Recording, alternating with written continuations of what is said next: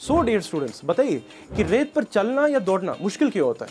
क्या इसलिए कि रेत पर फ्रिक्शन हमें ज़्यादा ओपोज कर रहा है? द आंसर इज़ नो तो चलिए हम समझते हैं how friction plays a role when we try to walk on ice और any smooth surface for that matter are we able to walk easily the answer is no this is because the friction is low and our foot slips instead of gripping because the grip is low but we are able to walk on a regular road isn't it? This is because it is a rough surface that offers friction. So let's zoom in on the feet.